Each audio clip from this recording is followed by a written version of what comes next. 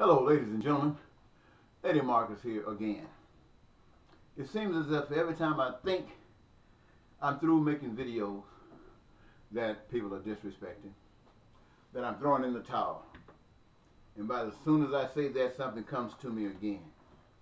And I'm thinking about Kaepernick complaining about the mistreatment of people of color by people who got guns who've been given a nod to say it was okay to kill black people, even if their tail lights are just out. Or even if they're walking away from you and you don't like it, you can shoot them, kill them, and come up with some little reason, or just any little bit of reason, and you'll get off and get a vacation, as long as we get the niggas. And for black people, it's kind of hard to understand how white people can feel that way. But it's really brought to a tipping point when you think about the statutes and everything that's been set up around the nation, giving honor to races, to people who had slaves. And you know the story of slavery if you want to know it. You know the story of slavery if you don't want to know it. And how people are running around getting upset because black people won't honor a flag that says that white people have gotten a nod to keep on treating you as slaves. And I was just thinking, how in the world can somebody say something to help white people understand? You know, they're kind of slow at understanding things. They don't get it. They don't pick it up just like that. They've been so indoctrinated, sometimes it takes them 50 or 65 years to get something. This is why when they commit some heinous act, they'll put it in their files and lock it up for 50 years because it'll take you that long to get it.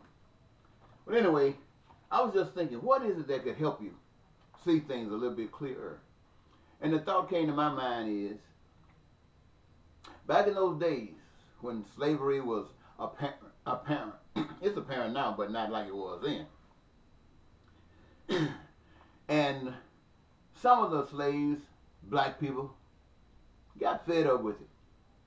The system wasn't changing impact of any kind of laws that might have been made was not being expressed across the nation.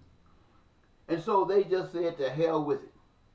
And what they did, they went, got up at night sometimes and went through these white masters' homes and slaughtered the whole family. Pull them out in the streets. I don't think they cut the heads off. They leave that for other people. But slaughter them. I mean, they tell me the white people are scared. They're running. Start hiring all kind of people.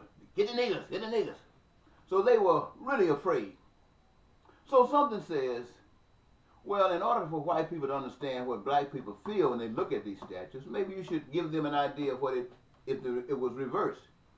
What if those slaves that revolted, who went on the rampart and wiped out a whole lot of people, white people, for what they did to slaves? What if you woke up one morning and you saw uh, statues built for Crispus Attucks, what would you feel or what would you say? Now, I know some of you are thinking about Crispus Attucks was a good nigga, but you don't know that for sure. What would you feel and what would you say if you saw a big statue set up on a big monument of uh, Nat Turner, guy who, and others? You know, we don't know too many of them because you were trying to keep that a secret. But if you saw all kind of statues exhibited almost in every state, and especially southern states, right beside your statues of your oppression, what if you felt and saw some statues of rebellion against white people for what they were doing to black people?